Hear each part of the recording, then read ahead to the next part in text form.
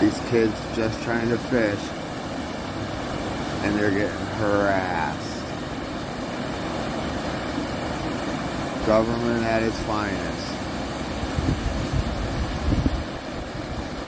I hope that motherfucker comes and bothers me.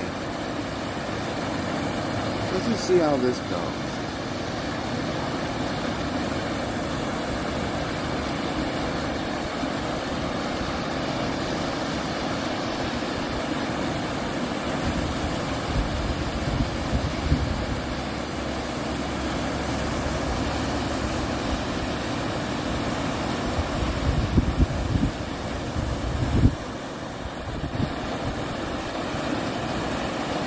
over uh,